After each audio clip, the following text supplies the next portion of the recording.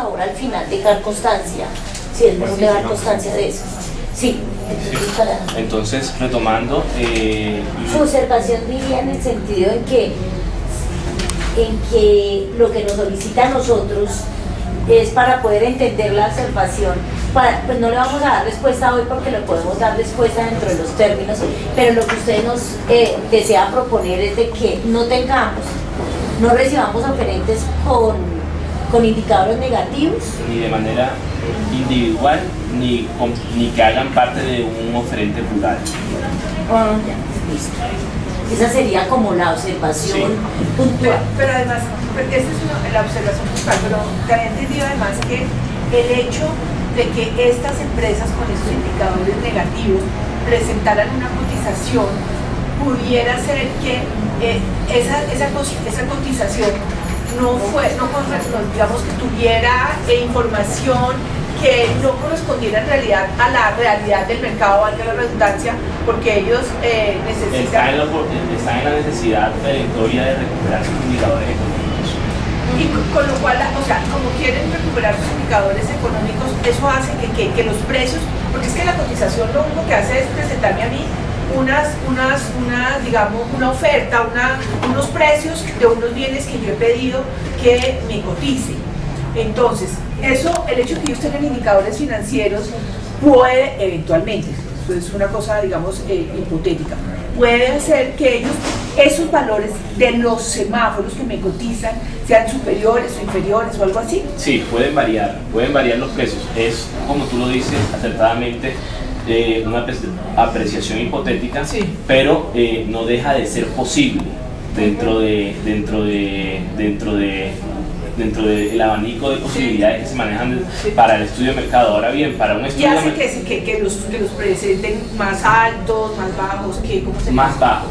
Más Sí. bajos. artificialmente. No digo que sea la, no digo que sea el caso del estudio de mercado. Ahora bien, para un estudio de mercado eh, puede, puede estar acertado, pero eh, si nos vamos a el tema de que la entidad dentro de sus principios debería garantizar la salvaguarda de sus recursos, sí debe ser importante que una empresa con indicadores, bueno, los indicadores negativos indican eh, definitivamente que la empresa no ha tenido un comportamiento sano dentro de sus, dentro de sus finanzas. Eh, entonces, eh, pues pedimos, solicitamos comedidamente la entidad se tenga en cuenta esta observación y que para los pliegos. para los pliegos sí, para que se... O sea, está tocando dos temas, yo estoy entendiendo. Uno es lo del precio, lo de las cotizaciones de mercado y otra que los pliegos tengamos en cuenta esto como observación, ¿no? como observación y que se modifique esa parte y diga expresamente en el pliego de condiciones que un oferente no podrá participar en el proceso si tiene unos indicadores negativos, de sus indicadores, algunos de sus indicadores financieros negativos, ni como oferente individual ni como componente de un oferente plural. Bueno, eso lo miramos nosotros ahí financieramente porque lo que nosotros hacemos es establecer unos, indicadores con unos rangos, ¿cierto? Y cuando se presentan en, en consorcios no temporales, eso hace que se compensen, ¿cierto? Pero, pero nos tocaría revisar. Lo revisamos, damos lo revisamos. Las respuestas, Sí, sí. eh, las respuestas son, a- as- hasta el 14 hay solicitud de observaciones. Pues nosotros aceptamos estas observaciones y se desean también por escrito, nos la dejan, nos la envían también al, Perfecto. a- al correo.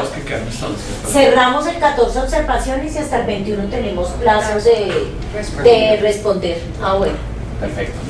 Eh, una pregunta, ¿hay posibilidad de que haya otra audiencia? Pues es que eh, antes del 14 ya no iba a haber 14 más porque el 14 14. cerramos. Es que el 14 14, el miércoles. 14 es de miércoles. Sí.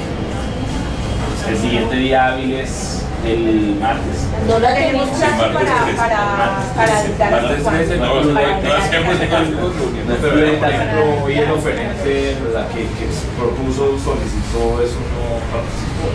Y es la única solicitud, no ha llegado nada más. Y hasta este momento se no enteró por llegó. la publicación, o sea, Me acaban de decir, me acaban de decir que telefónicamente eh, dentro de la empresa hay, hay personas eh, encargadas de hacer el seguimiento de los procesos que sean de nuestro interés. O sea, que se cierra cuándo.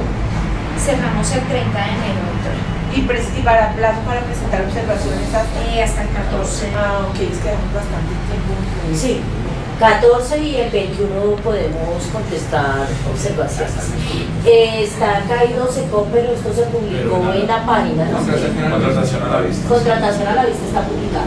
Sí, estamos teniendo problemas con el SECOP, pero no es por el SECOP, sino por nuestra plataforma. Pero contratación a la vista sí, Sí, está. sí está. Sí está publicado. Sí está de publicado. todas maneras, ustedes estén consultándose con contratación a la vista y llamando.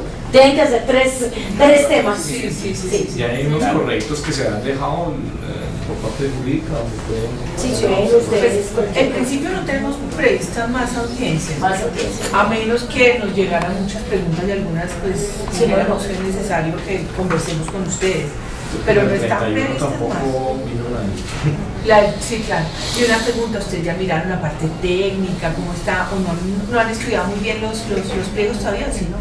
Efectivamente sí, ¿Sí que? sí se han estudiado, Ah, por ok. supuesto. ¿Sí? Sí, ¿Cómo está concebido el proceso y todo está... Sí. No, no, está como tranquila la cosa. Entonces esperemos hasta el 14.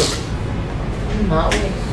Muchas gracias. Bueno. pero entonces dejamos ya constancia en el video de dónde se publicó y, y dejamos constancia si le pase, parece ingeniero en el video que usted se acaba de comunicar con la persona que lo Sí, solicitó. eh, el, eh, el oferente Álvaro Cabrera que solicitó una audiencia para aclaración de, de pliegos, eh, pues lo llamamos y básicamente no, no puede asistir, que está lejos y fuera de ciudad, pero, Pero lo importante, como lo dice la ingeniera, la doctora... pero a él se le notificó básicamente Se la audiencia. se constancia de que se publicó en, eh, los portales de de contratación. Pues la prueba es que hay un interesado que se hizo Sí. presente. correcto. Doctora, eh, le transmití al señor David que por favor nos dejara pues esto plasmado en escrito y me dice que él prefiere que consultarlo con la jurídica y que ellos en la tarde están elevando Ah, bueno.